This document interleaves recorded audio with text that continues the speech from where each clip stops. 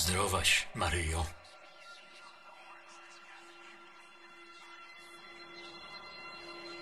full of grace. Łaski pełna.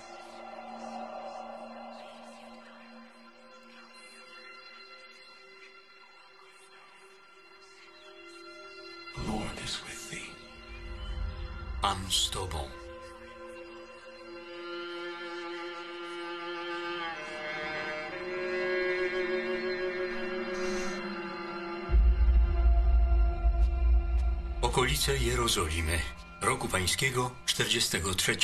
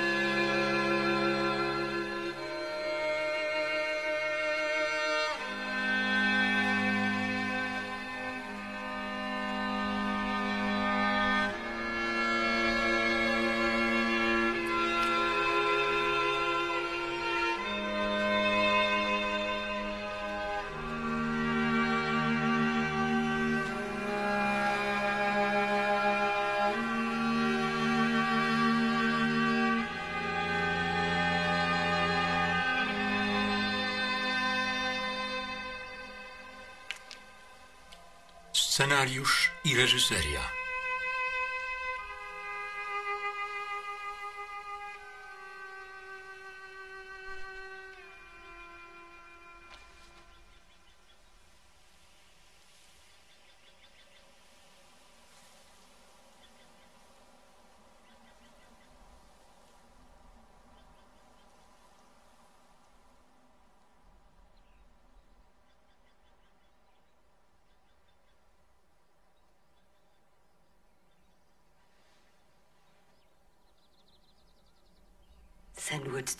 Poślij po Piotra. Mój czas jest bliski.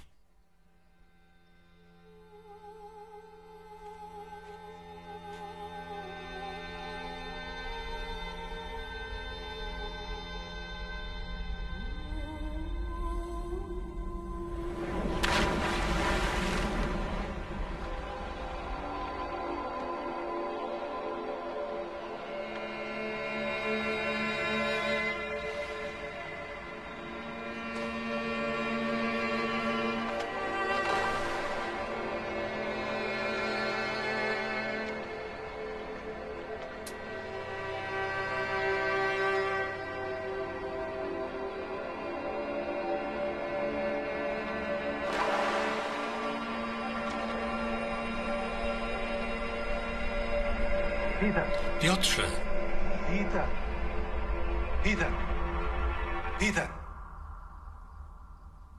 Where did we lose you? słuchasz nas?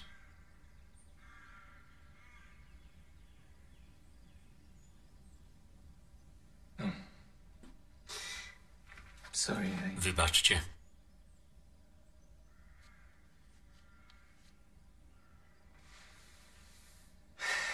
was somewhere else. Zamyśliłem się. Co masz do powiedzenia w naszej sprawie?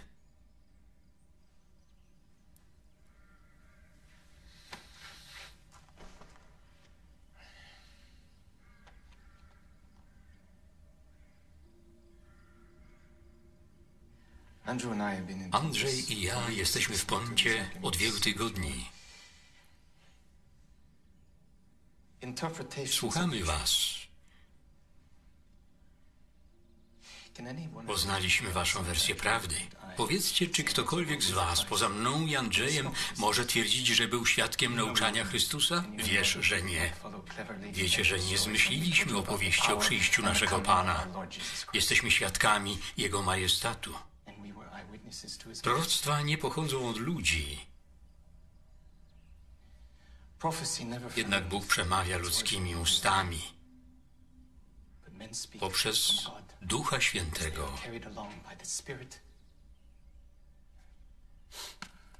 Rozumiem wasze argumenty i wątpliwości, ale nie możemy ryzykować błędnych interpretacji. Nie możemy wywieźć owczarni naszego Pana na manowce.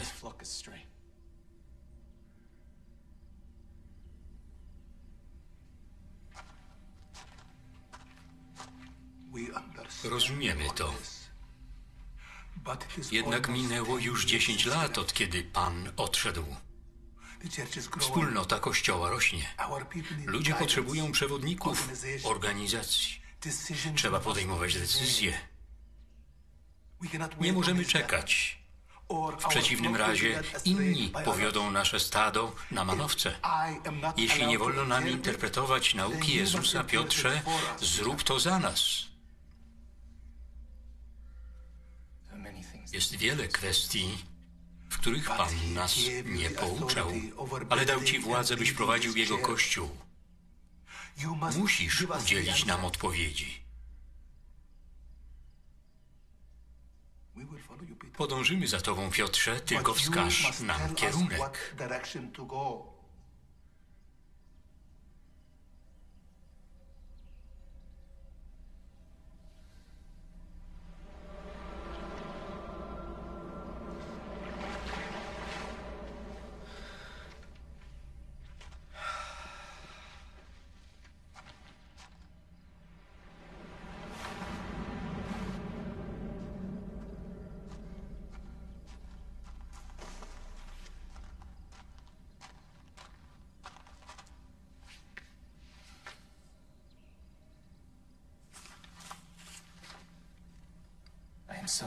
Wybaczcie, bracia, ale muszę Was opuścić. Chcesz odejść? Dokąd? Dlaczego? Przed nami ważne decyzje. Los Kościoła w Poncie od nich zależy. Wybaczcie, naprawdę muszę iść.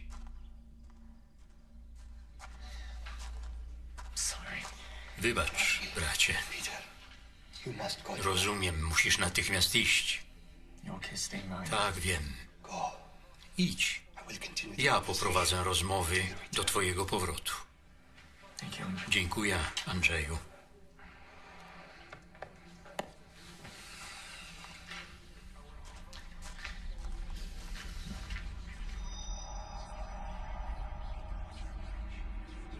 Hear now, you house of Słuchajcie więc domu Dawidowy. Czyż mało wam naprzykrzać się ludziom, iż naprzykrzacie się także mojemu Bogu? Dlatego Pan sam da wam znak. Oto Panna pocznie i porodzi syna i nazwie go imieniem Emanuel.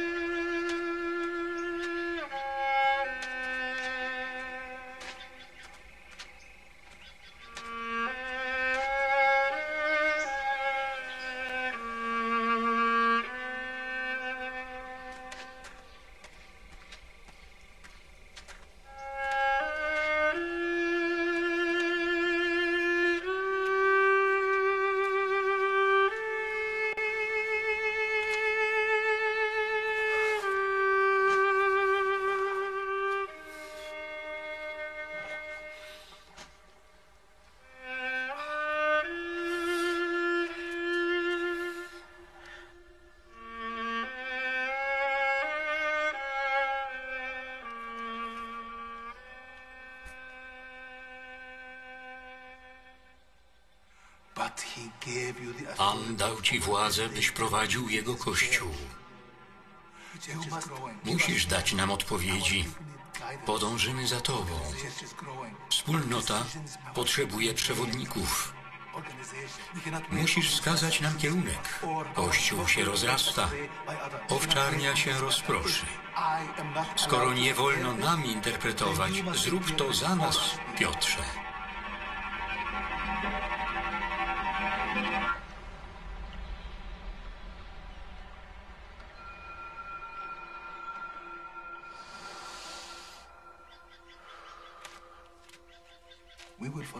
Podążymy za Tobą, Piotrze. Tylko wskaż nam kierunek.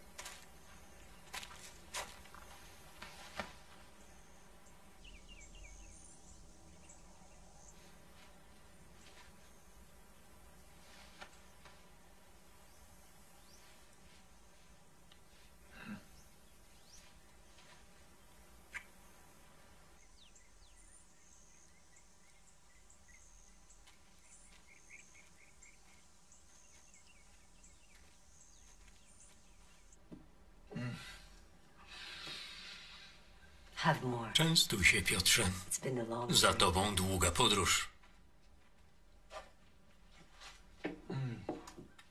Zara. Dziękuję, Saro.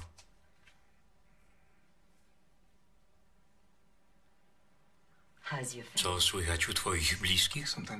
Mam wrażenie, że odnajdują się lepiej ode mnie. How long? has Ile lat ich nie widziałeś?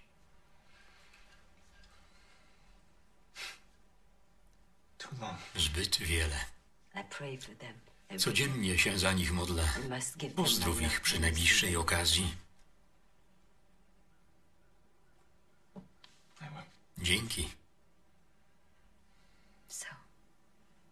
Opowiedz mi, co słychać w szerokim świecie? Nie otrzymałaś mojego listu? Otrzymałam. Jednak wolę wysłuchać cię osobiście. Liczba nawróconych wciąż rośnie. Przybywa ich wszędzie tam, gdzie nauczamy i uzdrawiamy. Paweł nawraca pogan w Antiochii. Czuję, że to dopiero początek. Bóg posyła nas na wszystkie krańce ziemi. Even as you Nawet of gdy mówisz o zbawieniu, there is a heavy wielki kamień ciąży na twoim sercu, synu. Mamy poważny problem w Poncie.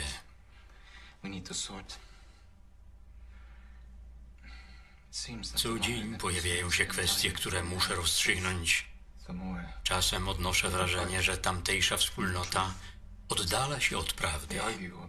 Prowadzą spory, domagają się wskazówek, kwestionują naszą naukę.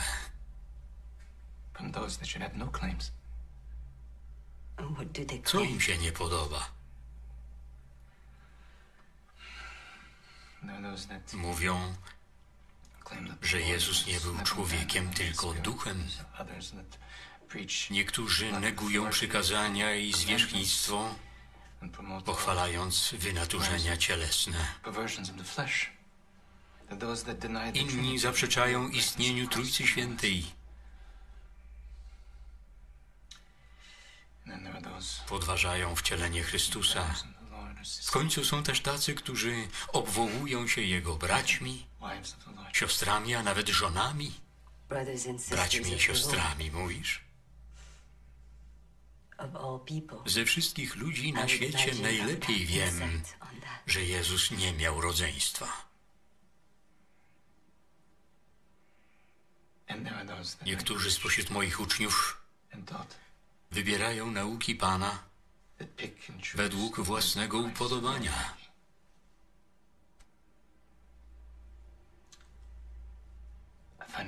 Czasem budzę się w nocy zdjęty strachem, wondering if czy he nie popełniłem jakiegoś błędu.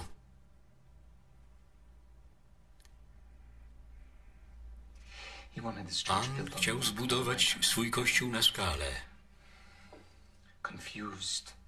a tymczasem tworzą go ludzie, którzy nieustannie coś kwestionują, debatują i filozofują na temat jego słów. Ja nie potrafię prowadzić debaty. Nie jestem filozofem.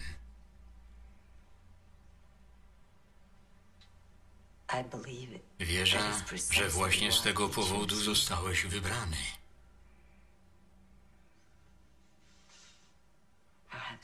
Być może potrzebujesz odrobiny wytchnienia.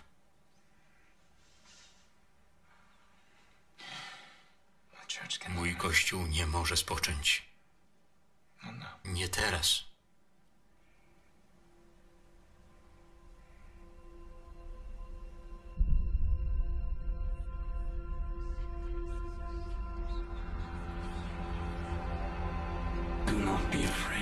Bój się, Maryjo. Znalazłaś bowiem łaskę u Boga. Duch Święty stąpi na ciebie i moc Najwyższego cię osłoni. A oto również krewna twoja, Elżbieta, poczęła w swej starości syna. Dla Boga bowiem nie ma nic niemożliwego.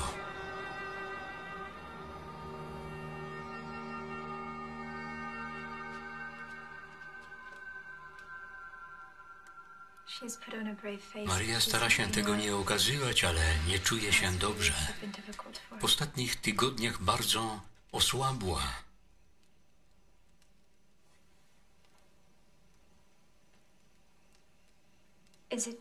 Czy to prawda, co ludzie mówią o twojej ucieczce z więzienia? To zależy, co mówią. Słyszałam, że surrounded oczekiwałeś na proces pod strażą, zakuty w kajdany. W środku nocy celę rozjaśniła światłość, która oślepiła żołnierzy i anioł pański zstąpił na ciebie. Kajdany opadły z twych ramion, and the angel a anioł wyprowadził się z więzienia, tak że nikt się nie zorientował.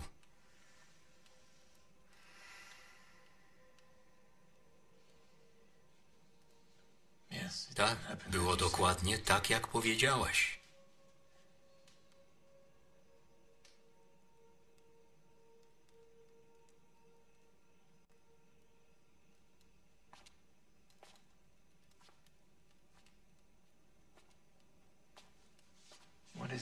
O co ci chodzi, Saro?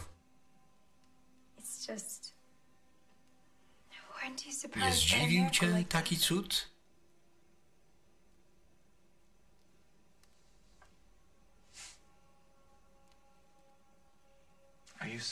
A ty się dziwisz cudom? Yes. Tak.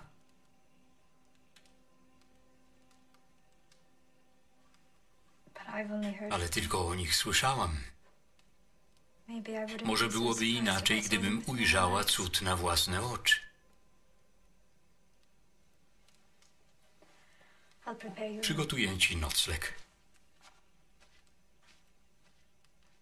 Dzięki, Saro.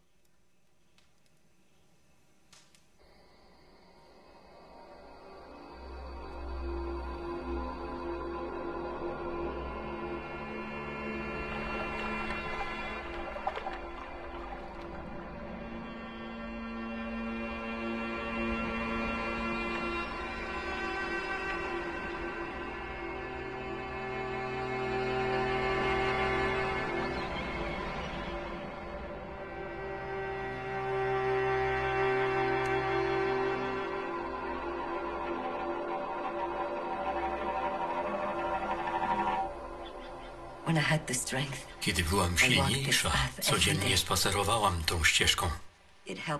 Wspominałam wszystko, co Jezus dla nas zrobił.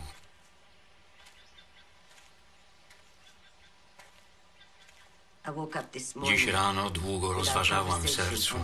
Twoje słowa. Pamiętasz? Piotrze, jak to było na początku? Tłumy chciały was ujrzeć. Nie rozumieli tego, co widzą, ani czego słuchają.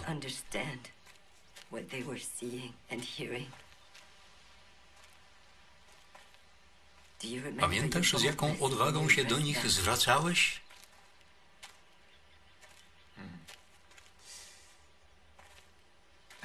Tak, pamiętam tamten dzień. Myślałem wtedy, że tłum porwie nas i zginiemy na miejscu. Ale tak się nie stało. Przybywali tysiącami. Udzielaliśmy chrztu nieskończonym rzeszom nawróconych. Ludzie wynosili swoich chorych na ulicę. Układali ich na noszach i matach w nadziei, że gdy będziecie przechodzić, choćby wasz cień na nich padnie. W tamtych dniach ludzie nosili prawdę w swoich sercach. Dzisiaj próbują zrozumieć. Dążą do zrozumienia tego, co niepojęte. Oczekują wciąż wspanialszych cudów. Przytłacza ich trud codziennego życia. Potrzebują nowych znaków na potwierdzenie nauki, którą głosimy. even greater signs that we really do hold the truth. The frailty Wieczne niezaspokojenie, ciągłe poszukiwanie jest istotą człowieczeństwa. Być może właśnie z tej cechy Bóg uczynił naszą największą siłę. Tylko Bóg może wypełnić pustkę w ludzkim sercu.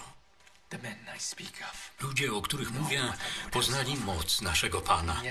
Lecz mimo to, zamiast trwać przy nim, miotają się jak chorągiew na wietrze.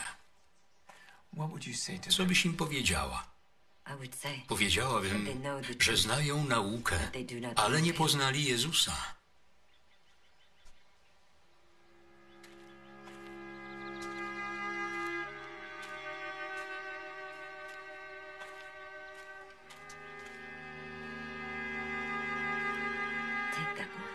Piotrze, podnieś ten kamień.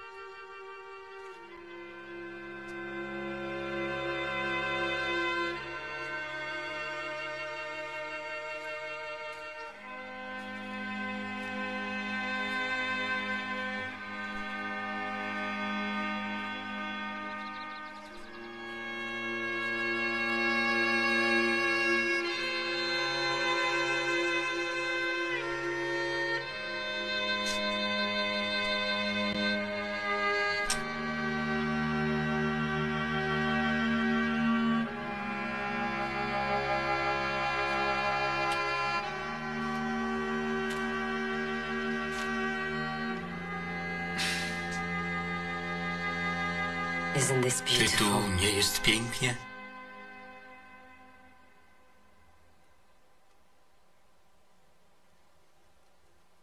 Gdy przychodzę w to miejsce, by porozmawiać z Jezusem, I find that wszystkie all the troski i trudności znikają.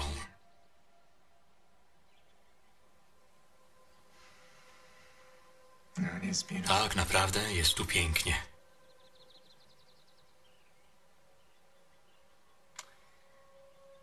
No more of that Tak bardzo chciałbym nie przeżywać tych rozterek,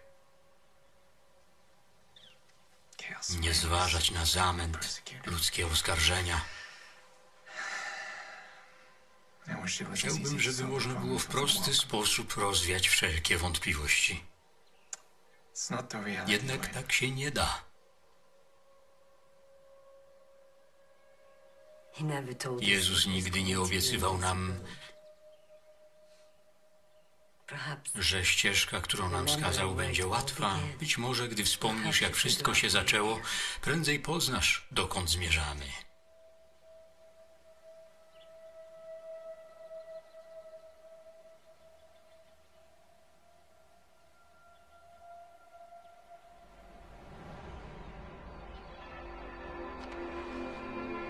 Master, Mistrzu,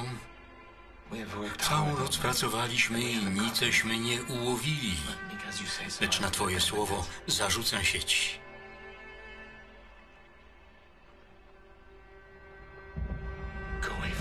Odejdź ode mnie, Panie, bo jestem człowiek grzeszny.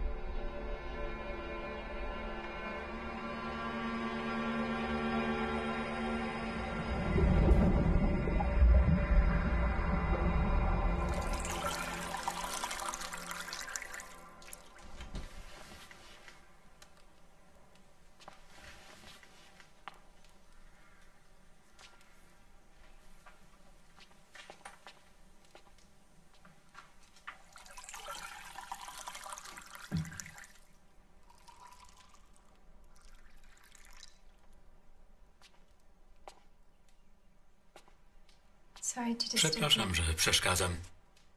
No. Nie szkodzi. Zamyśliłem się.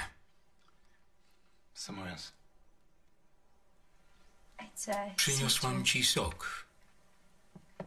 Napij się. Dzięki. Usiądź, proszę. Can I ask you?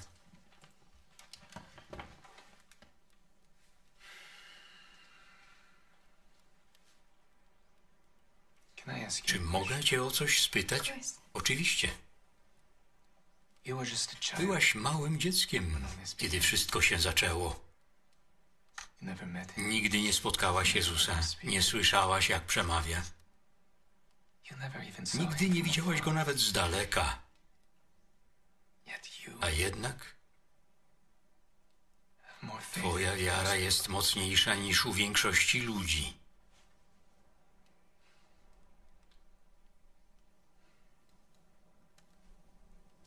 Jak to możliwe? Moja mama zmarła w połogu. Krótko po niej ojciec. Byłam zagubiona i samotna. Wtedy Maria zabrała mnie do Nazaretu. Zatroszczyła się o mnie, obdarzyła miłością. Opowiedziała mi o Jezusie. Jednak to nie słowa sprawiły, że uwierzyłam. Gdy spoglądam w oczy Maryi, gdy patrzę jak żyje, moja wiara umacnia się. Widzę w niej Jezusa, słyszę Jego głos w jej głosie. Poznałam Pana dzięki Maryi.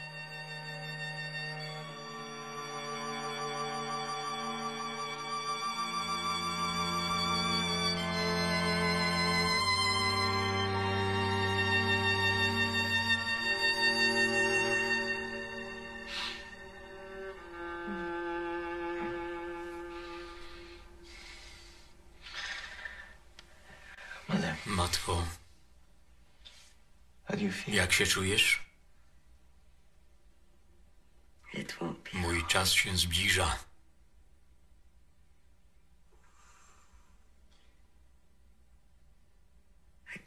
Słyszę chóry anielskie.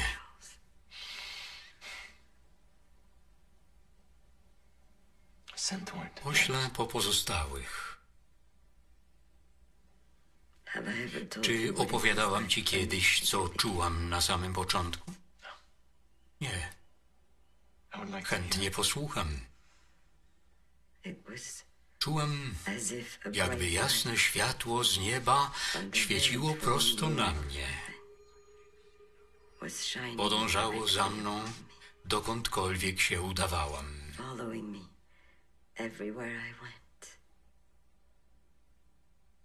A wszędzie dookoła była ciemność.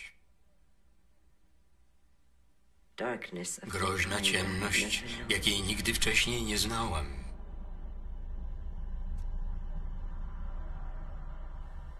Ciemność, którą tylko boskie światło mogło rozjaśnić. lonely sama pośród ciemności, a światłość była moją jedyną osłoną.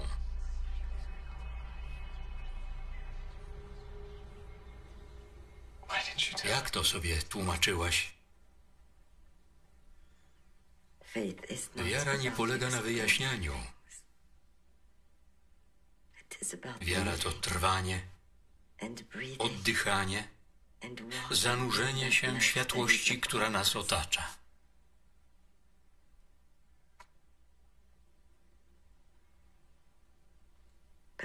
Na drodze światła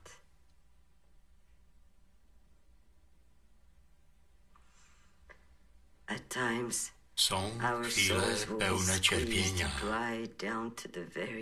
Bywają dni, gdy nasze dusze cierpią znękane do głębi. U kresu sił, niezdolni, by zrobić choćby jeden krok więcej.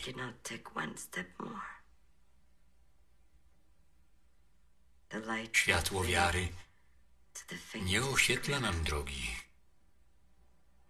Czujemy się miotani przez fale jak ziarnko piasku na brzegu morza. Lecz światło Boże nigdy nie gaśnie. Boża światłość rozjaśnia ciemności zwątpienia. Wiara niesie wielką obietnicę, że Bóg nigdy nas nie opuści.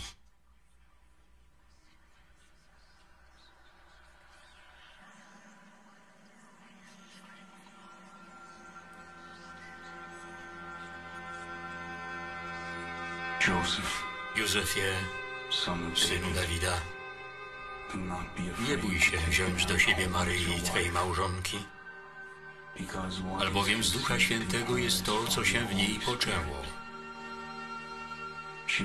Porodzi syna, któremu nadasz imię Jezus. On bowiem zbawi swój lud od jego grzechów.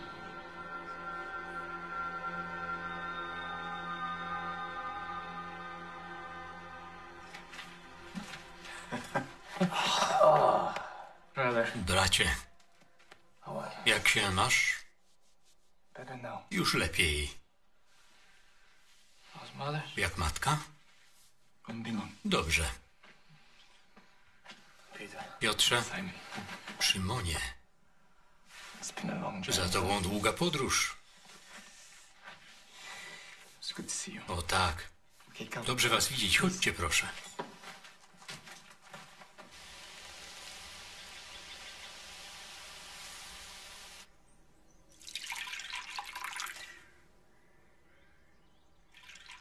John, Ja nie... I wanted to Wybacz, apologize. że nie rozmawiałem z tobą po śmierci twojego brata Jakuba. I had to leave the city. Musiałem natychmiast opuścić Jerozolimę. I wanted to be with Żałuję, że nie mogłem opłakiwać go razem z tobą. We must rejoice. Jakub zjednoczył się z Panem. Obyśmy wszyscy dostąpili łaski takiej śmierci, cierpieć wielbiąc Boga w obliczu niewiernych. Masz rację, Jakubie. Niech Pan. Ci błogosławi. Niech pozwoli cieszyć Ci się radością płynącą z Jego obecności. Niech Bóg da nam siłę, moc i odwagę, by umrzeć jak Ty. Bracie Jakubie, módl się za nami.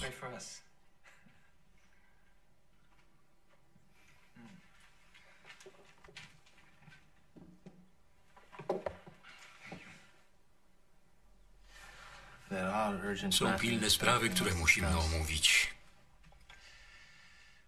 Czytaliście listy Pawła. Od Jerozolimy do Pontu ludzie pragną odpowiedzi. Poganie nie przestrzegają prawa. Prowadzą wiernych na manowce w imieniu Pana. Mam świadomość sytuacji w Jerozolimie. Właśnie wróciłem z Pontu. Co zatem należy uczynić?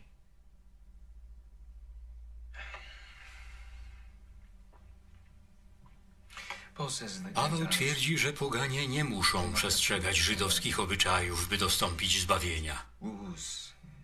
Twierdzi, że zbawienie pochodzi z wiary. Czy wolno im odrzucić prawo i tradycję? Piotrze, to oburzające. Widziałeś na własne oczy, co się dzieje, gdy człowiek tak postępuje.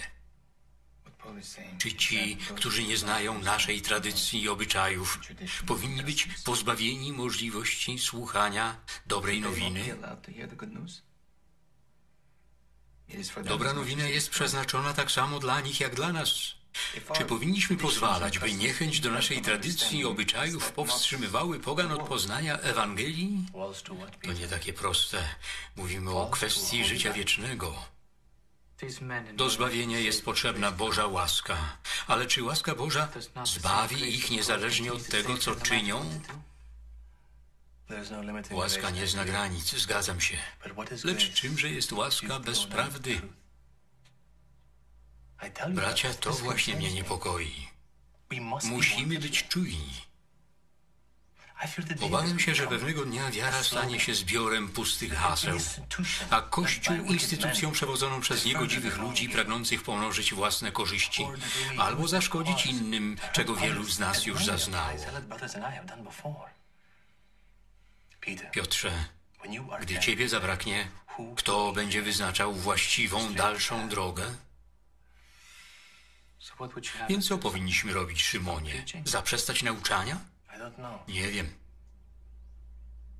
ale czuję, że coraz większa różnica dzieli wierzących Żydów i nawróconych pogan.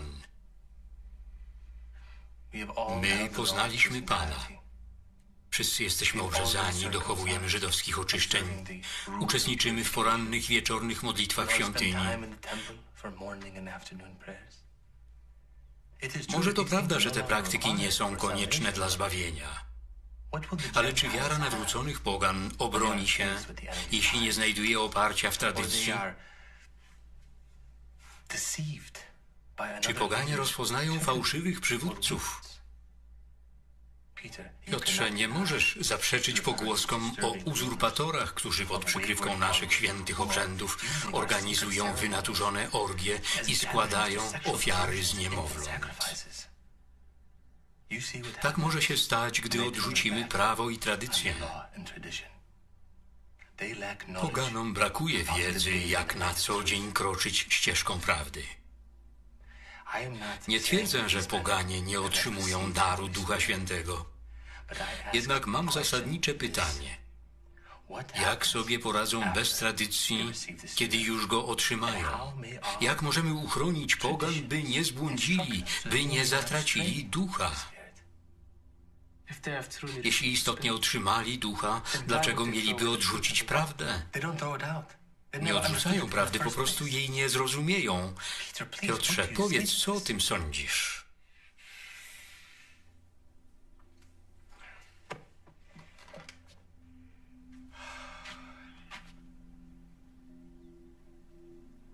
Jesteśmy na początku drogi. Nie mam jeszcze zdania. A może nasz Pan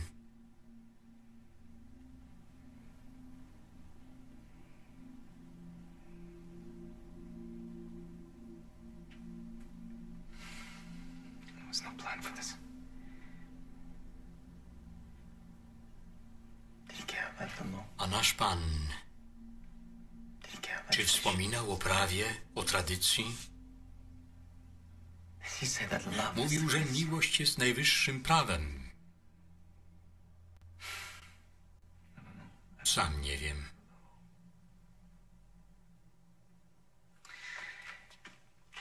Nie znam odpowiedzi. Ani dla Pontu, ani dla Jerozolimy. Wam też nie odpowiem.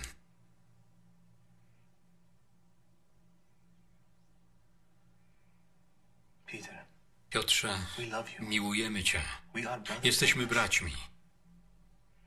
Poczekamy na Ciebie, ale musisz nas poprowadzić. Jeśli nie poradzimy sobie teraz, każdy, kto potrafi swoją mową zwabić tłumy, będzie w stanie rozbić wspólnotę dla swoich własnych celów. A początek Kościoła będzie zarazem jego końcem.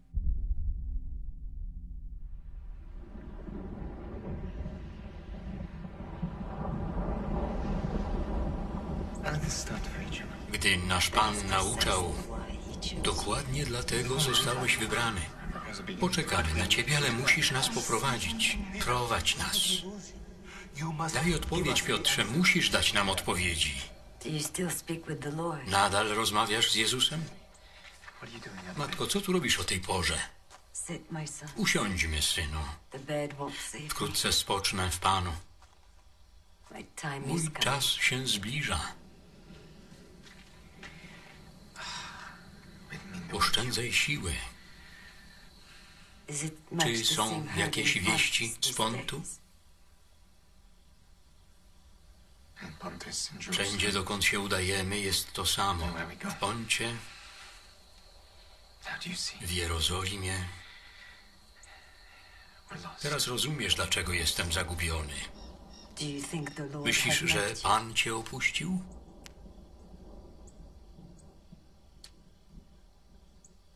Piotrze, Jezus odszedł, byśmy go odszukali. Odszedł, byśmy za nim podążali.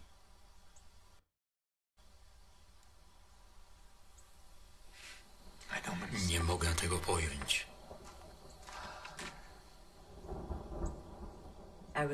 Pamiętam, gdy jako chłopiec nauczał w świątyni. Przez trzy dni moje serce krwawiło, bo myślałam, że straciłam go na zawsze. Czułam, jakbym utraciła część własnej duszy. Gdy go odnaleźliśmy, przemawiał do uczonych i kapłanów.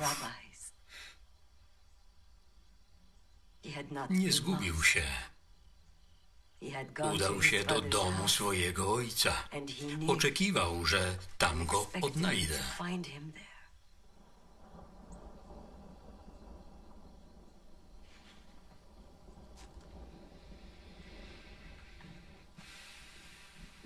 Posłuchaj, w spokoju, w ciszy, Jezus wzywa mnie ponownie do domu swego ojca. Dokąd wzywa ciebie? Peter, Piotrze, gdy wsłuchasz się w jego głos, zrozumiesz, dokąd cię wzywa.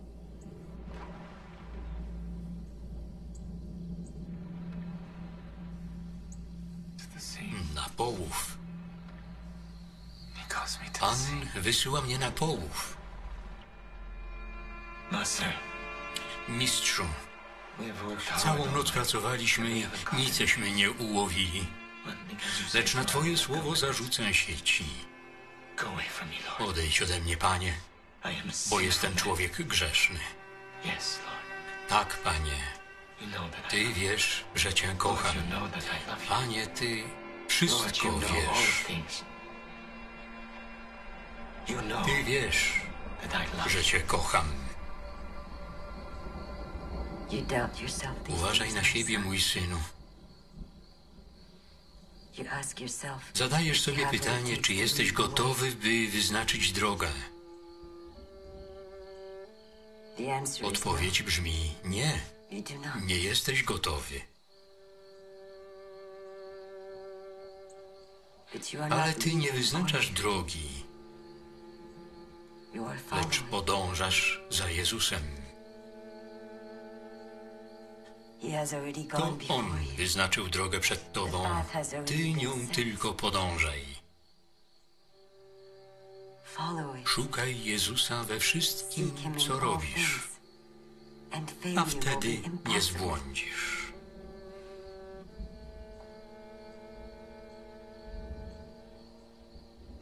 Weź to.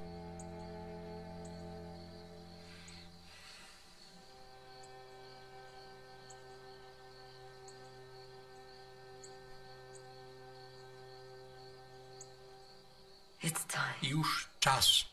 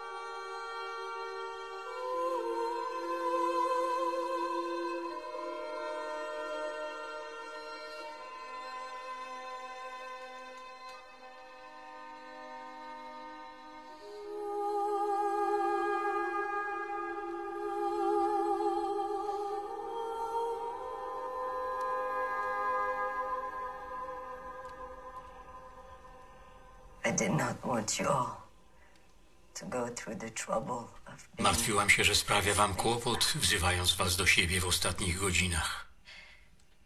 But now, Jednak teraz widok waszych twarzy napawa mnie wielką radością. Perhaps Być może moje doświadczenie będzie wam pomocne.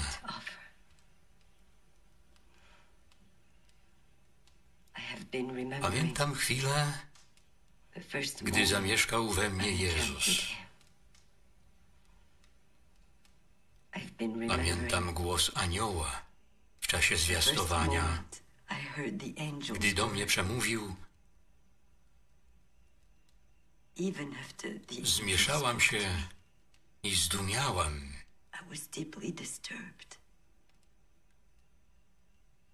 Jakże to być może? but in my heart Ale serce znało odpowiedź.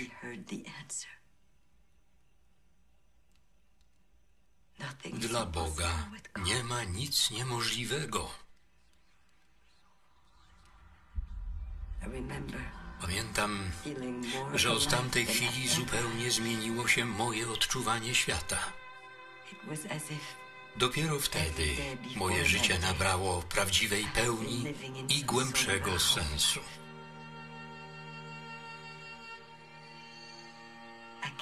Wciąż czuję blask słońca na twarzy, jak w dniu zwiastowania.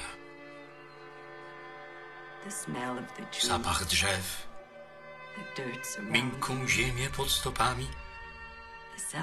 Śpiew ptaków wciąż rozbrzmiewa w mojej głowie. Cały świat uległ wtedy przemianie. Wspominam tamto wydarzenie każdego dnia.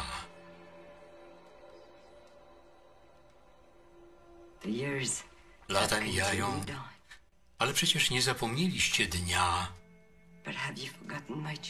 w którym Jezus po raz pierwszy na was spojrzał. Zachowajcie tę chwilę your w waszych sercach. Ta chwila to wasz skarb. Światło, które nosicie w sobie, jest mocniejsze i większe niż problemy tego świata.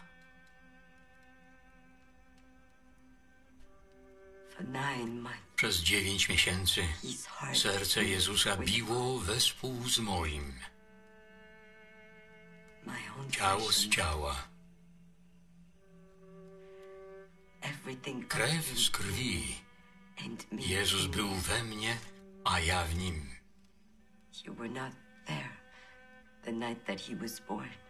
Świat przez wieki czekał na moment Jego narodzin.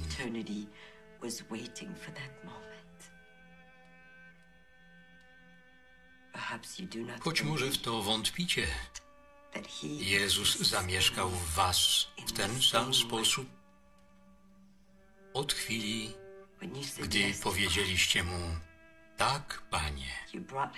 Niesiecie Go światu w waszych sercach.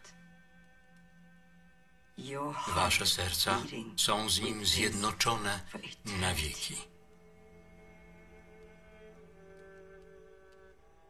Do you think Czy sądzicie, że tylko wy przeżywacie dzisiaj wątpliwości i lęki?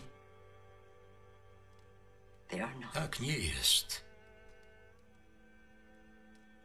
Nie unikniecie walki.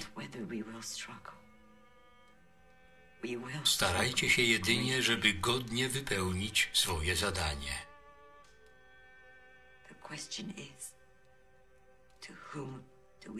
Dajcie się prowadzić? Jezusowi, który was w tym wesprze. Dłońmi, którymi łamał chleb, ofiarując się za wszystkich ludzi, piłował drewno w stolarni dzień po dniu.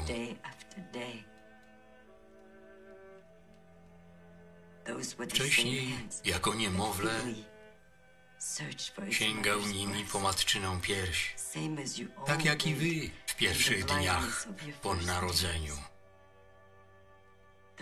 Tymi dłońmi uzdrawiał chorych i wskrzeszał zmarłych.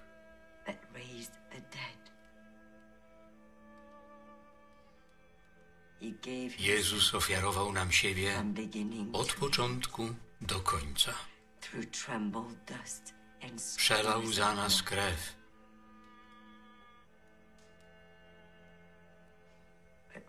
Pamiętajcie,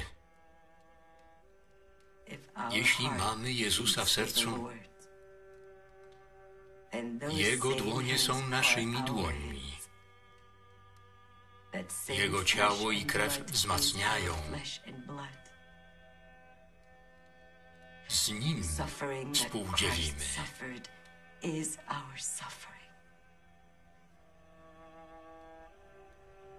suffered wiecie ile wycierpiałam podczas ucieczki do Egiptu z maleńkim Jezusem tiny Józefem.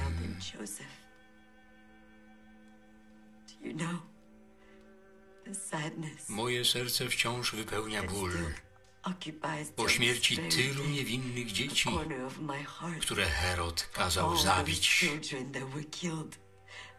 próbując powstrzymać proroctwo.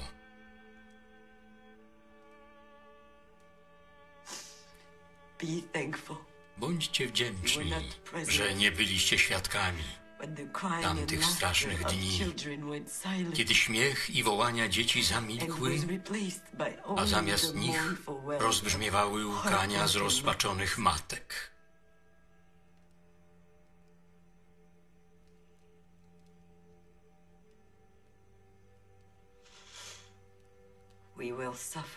Ścieżka naszego Pana pełna jest cierpienia. Tego jestem pewna.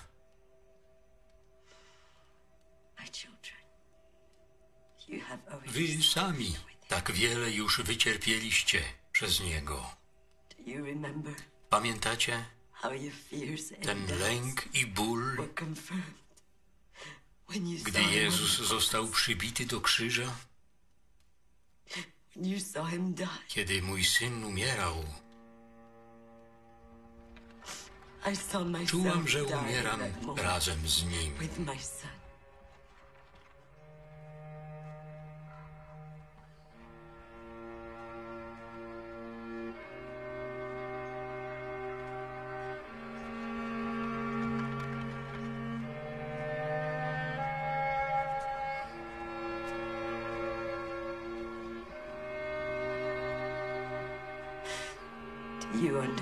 Że od momentu, gdy pierwszy raz ujrzałam body nowo that narodzonego tiny Jezusa stające w Betlejem,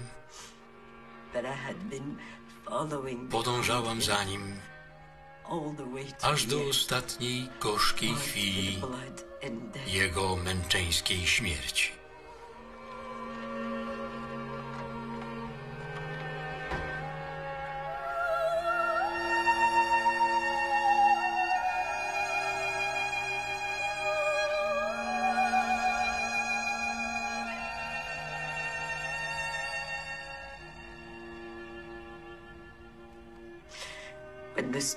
Gdy wejście do grobu zamknięto kamieniem,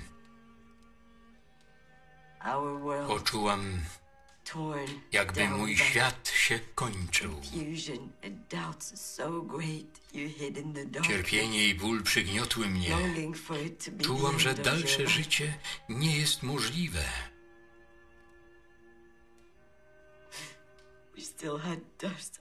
Nasze szaty i sandały pokrył kurz drogi, którą wiedli go na śmierć.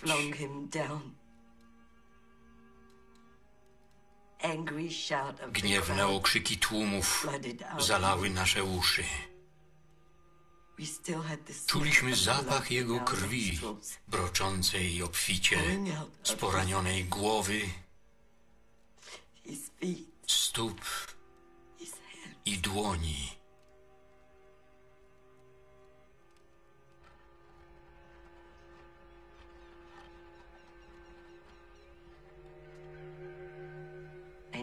Ale potem, po trzech dniach, Maria Magdalena, nieutulona w bólu, poszła tam i znalazła pusty grób. Wtedy wszystko nabrało nowego sensu.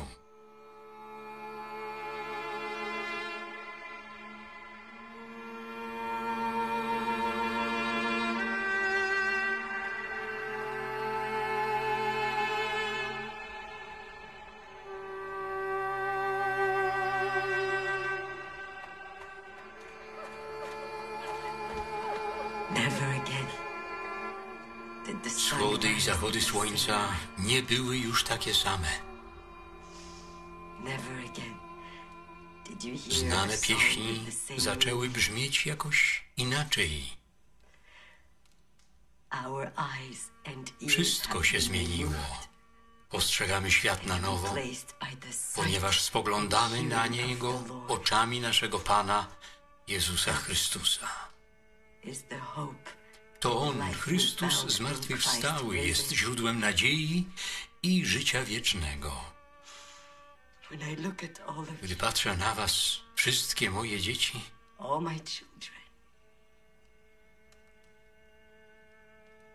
widzę jedno oblicze. Oblicze naszego Pana. Widzę żywą twarz mojego Syna, który zmartwychwstał i jest w Was obecny.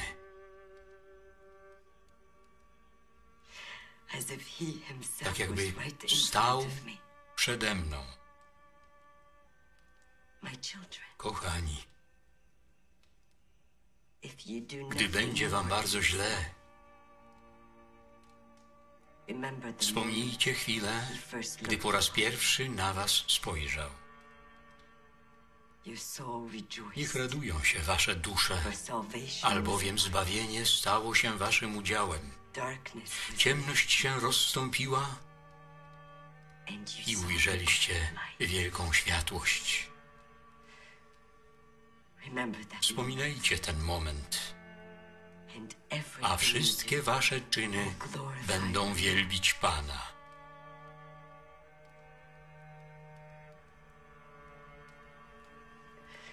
Do. Peace be Pokój z wami. Nie smućcie się, gdy odejdę. Nie opuszczę was nigdy. I.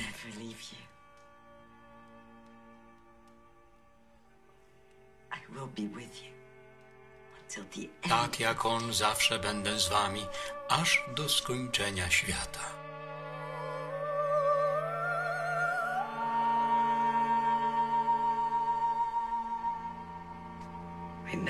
Wspominam, jak spacerowałam razem z Jezusem po rozświetlonych wzgórzach, jak rozmawialiśmy o tylu wspaniałych rzeczach.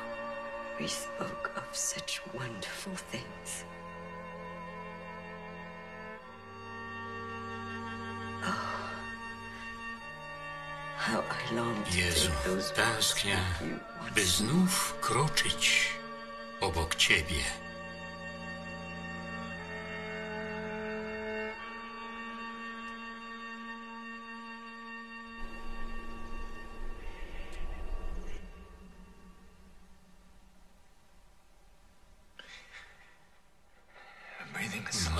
Wkrótce odejdzie do Syna. It will be soon now. Zostanie w niebo wzięta i trafi prosto w ramiona naszego Pana. Nikt inny nie dostąpił takiej łaski.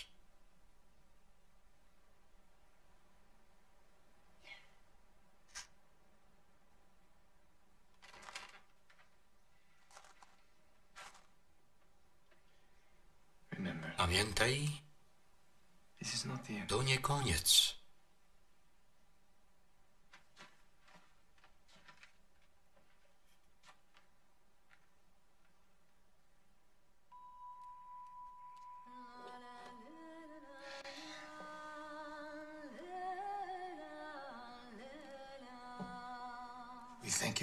Dziękujemy Ci, Ojcze, za święty szczep Dawidowy, który nam dałeś. Zwracamy się do Ciebie, Twoi słudzy, przez Chrystusa. Pana naszego. Tobie cześć i chwała na wieki.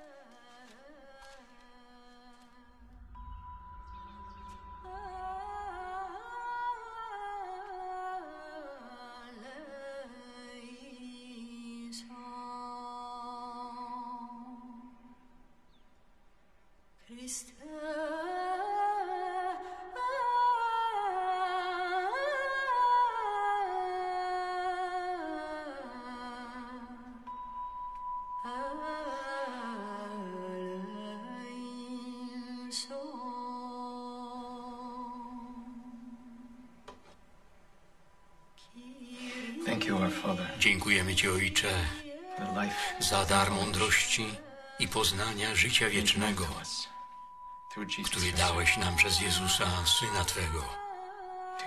Tobie cześć i chwała na wieki.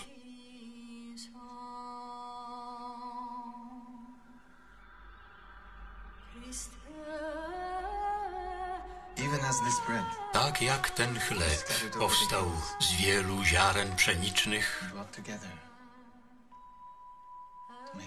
tak Ty, Panie, zbierz nas w jeden kościół, rozproszony po całej ziemi.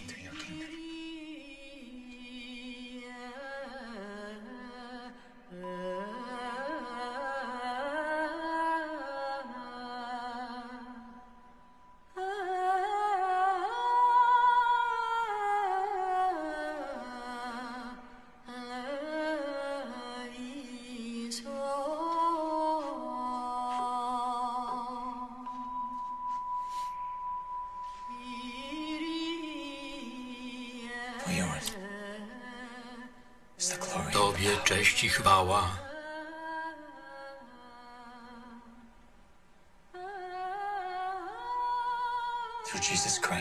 Przez Jezusa Chrystusa na wieki wieków.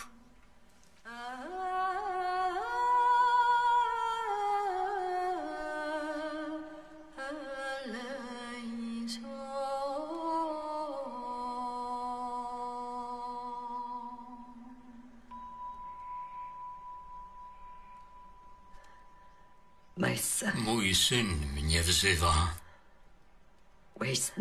Synu, wyjrzyj na swoją owczarnię.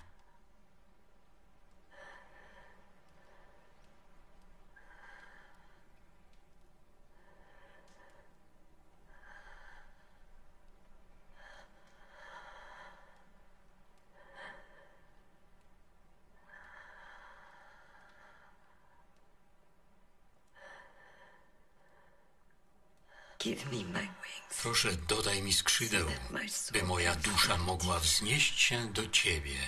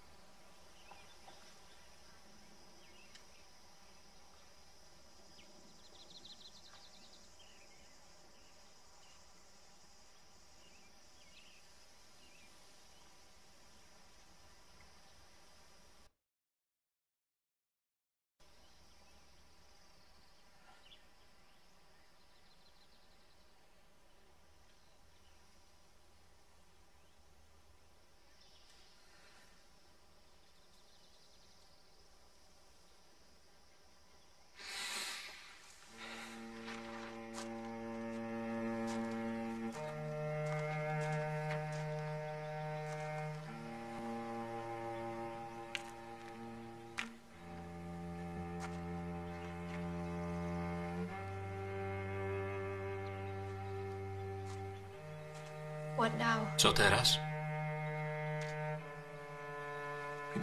Będziemy postępować jak Maryja. Łaska Boża nas poprowadzi. Słuchani w głos Chrystusa, podążymy za Nim, pełni ufności. Pójdź,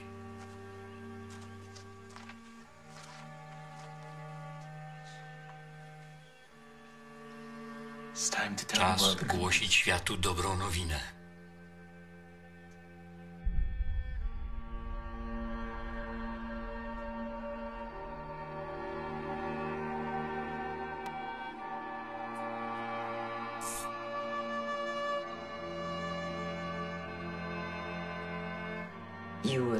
Pójdźcie za mną, napełnieni Bożą światłością. Nasze serca zabiją jednym rytmem. Nawet śmierć nas nie rozłączy.